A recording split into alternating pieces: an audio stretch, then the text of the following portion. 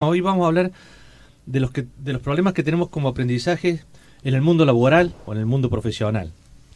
Eh, esto, la, teoría moderna de, la administración habla que eh, aquellas empresas que no aprenden, eh, fíjense en el término que estamos usando, ¿no? Empresas u organizaciones que no aprenden. ¿Qué significa que no, que no logran aprender? Que no logran mejorar su desempeño este, a medida que transcurre la vida empresarial. Es decir, o que se estancan, en el mejor de los casos, o que tienden a desaparecer, ¿no? Que los economistas dicen no se hace viable una empresa. Eh, pero resulta que cuando se, se ponen a estudiar o, los estudiosos empiezan a buscar detalles de, por qué estos fracasos en la vida empresarial este, aparecen este, asociados los fracasos a nivel personal, ¿no? Eh, tanto sea de los profesionales que trabajan en esas empresas o de las personas que trabajan en esas empresas, ocupando distintos puestos.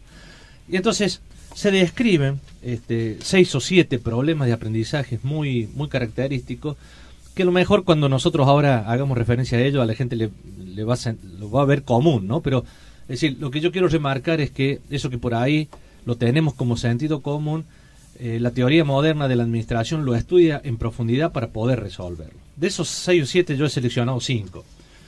Un primer problema de aprendizaje es el considerar eh, yo soy mi puesto. Es decir, eh, muchas personas confundimos la tarea con la identidad. Este, uno es común que se cruce con un amigo por ahí y le, y le pregunta, o no, hace tiempo que no te veo, eh, ¿qué estás haciendo? o cómo te va, y, empieza a hablarle de su trabajo y no de la persona. Es decir, fíjense en cómo está internalizado esto de que este, bueno, nosotros somos el puesto, ¿no? Este, es como si vos contestaras a alguien que no te conoce, decís, bueno, yo soy conductora de, la radio. Bueno, vos sos Valeria. Eh, y entonces, ¿cuál es el problema de confundir la tarea con la identidad? Es que creer este, que todas las responsabilidades eh, están limitadas al puesto que se ocupa. Y no es así. Es decir, hemos venido hablando en esta columna también de la responsabilidad que tenemos como trabajadores, como profesionales, de desarrollarnos este, personalmente para poder hacer mejor también nuestras tareas, pero además este, para asociarle siempre a nuestra tarea profesional o laboral, asociarle esta mirada ética social, ¿no? nuestro compromiso social. Entonces, si creemos que toda nuestra responsabilidad, nos creemos que nosotros confundimos la tarea con la identidad, es como que toda la responsabilidad la estaríamos puesto, la tendríamos puesto en, el puesto de trabajo. Y después de ahí, bueno, casi que no importa mucho, ¿no? Entonces, cuidado con eso que yo soy mi puesto. Yo soy algo más que mi puesto. Otra, otro problema de aprendizaje, otra barrera muy fuerte es el enemigo externo. Siempre los problemas están en otro lado, no están en nosotros. Decimos, es, hay una propensión a culpar a un factor o a una persona externa cuando algo nos algo sale mal. ¿no? Eh, esto casi está, con la naturaleza humana, eh, pero realmente lo tenemos que revisar, porque eh, sobre todo cuando las dificultades se nos presentan muy frecuentemente. Es decir, bueno, sí, en el relacionamiento con, con mi equipo de trabajo no me va bien, en el relacionamiento con el área más social o el club o los amigos donde frecuento tengo dificultades. O cuando quiero encargar una tarea, eh, no la puedo terminar a tiempo, pero no solamente esta, sino cuando encare aquella otra tampoco, ¿no? Entonces, antes de culpar y, pensar que las cosas están en, lo exterior a nosotros, revisar un poquito eh, si realmente cuánto tenemos que ver nosotros con que las cosas no salgan bien. Es esto de que el enemigo siempre está afuera de uno, es un subproducto de lo que yo soy mi puesto, ¿no? Y en el modo asistémico de, encarar las cosas. Cuando decimos sistémico es porque como que no nos damos una metodología de trabajo. Entonces decimos, bueno, como no estamos estableciendo una metodología de trabajo, se nos cruza algún problema, lo primero que decimos, ese problema no es mío, sino que de una variable externa que nos influye. Eh, otro problema de aprendizaje, el tercero que quiero mencionar es, a veces tenemos la ilusión de hacernos cargo.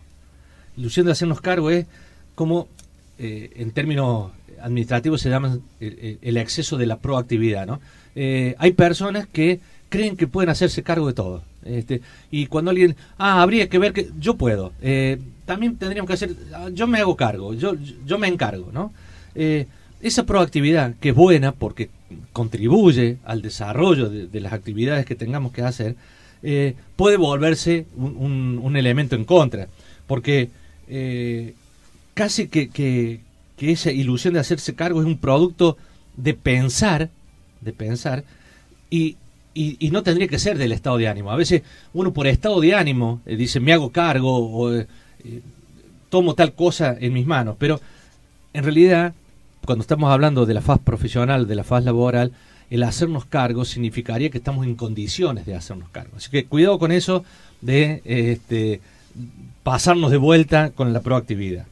Eh, una que a mí me, gusta mucho destacar como problema de aprendizaje es la mala adaptación. Y hay una, parábola que la describe muy bien, que es la de la rana hervida. Dicen que si uno pone en una olla con agua este, una rana dentro del agua y de a poco le va dando calor, eh, la rana se va acostumbrando al cambio de temperatura y cuando quiere acordar puede estar hervida. Eh, por el contrario, si nosotros tenemos una olla con agua hirviendo y queremos intentar poner una rana dentro de esa olla, seguramente la reacción de la rana saltará de tal forma que va a salir. ¿Qué quiere decir traduciendo esta parábola de la rana hervida a la vida profesional o laboral? Eh, estamos más preparados para cambios este, bruscos que para cambios que se, dan lentos y graduales. A veces nuestros ambientes de trabajo se van modificando de a poco y nosotros a veces no advertimos los cambios que se van dando. Y cuando queremos acordar, nos pasa como la rana, este, nos vemos ya en una situación límite. Entonces hay que estar muy cuidadosos en los ambientes laborales, en prestar atención a las cosas sutiles, no solo a aquello que aparece evidentemente como un gran cambio, porque eso nos damos cuenta todos, ¿no es cierto? Es tan fuerte el cambio, es, tanta la modificación que, la advertimos rápidamente. Pero muchas veces en nuestro ambiente laboral hay cambios sutiles que si uno les presta atención, eh, esos cambios van indicando, no, hay un, hay un cambio de orientación, las cosas están pasando por otro lado, mi relación con el jefe tiene que ser distinta, mi relación con los pares, eh, hay comportamientos, tengo que buscar la sutileza de esos comportamientos para ver cómo me voy adaptando. Y lo último que quiero citar es aquella de que hay mucha ilusión de que se aprende con la experiencia.